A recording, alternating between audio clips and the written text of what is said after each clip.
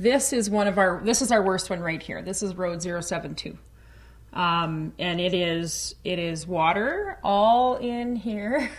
Standing in front of a map of the RM, Reeve Carmen Sterling runs her finger from property to property. Areas in the Weyburn area that are still underwater. So uh, certainly we don't have roads underwater this year, so there is an improvement. But we're just as challenged in some areas as we were where there was water, just having the water up against the roads. Cutting through the fields, still deep in water, the pavement buckles as waves lap at the road's edge.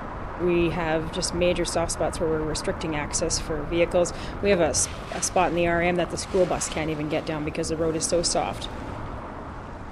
Down one of those roads is Chad Crane's farm. There's, you know, a few hundred acres with a few feet, and a few hundred acres with several feet of water, and a few hundred acres with, you know, significant depths of water deeper than I would want to even think about right now. He was flooded out last year.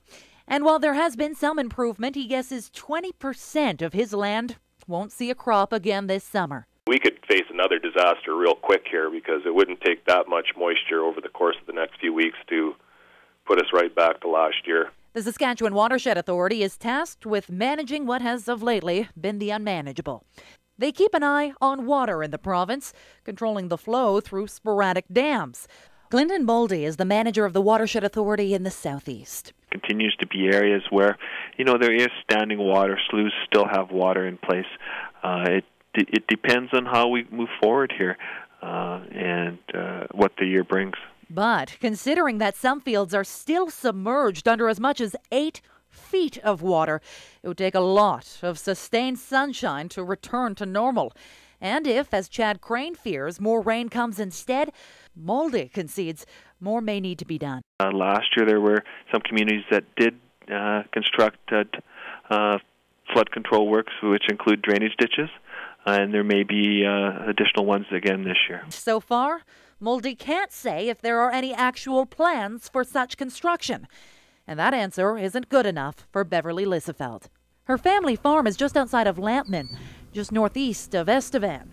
The town itself sits uncomfortably close to miles of standing water. When I was here last June, sandbags were being put down to hold the water back. And the bags and water still sit just a few yards from the edge of town. Out in the center of this unwelcomed lake is the Lisafeld farm. Raised our kids there. We we have the most beautiful shelter belt that we planted 55, 60 foot evergreens that are falling over now. Oh, which may not sound like a lot to someone, but our yard was our pride and joy. Since last June, she and her husband have bounced from place to place while the water keeps a hold on the farm they've owned for 30 years. The only tenants are the two dogs they couldn't take with them. Beverly's husband gets into the home by ATV only a few times a week to check on the pumps and feed the animals. They'd hoped to be home this spring, but the flooding from last year still seems far from over. Natalie Geddes, News Talk Radio in Lampman. How high is the water, Mama? Two feet high and rising. How high is the water, Papa? She said it's two feet high and rising. But we can make it to the road in a homemade boat, cause that's the only thing we got left that'll float. It's all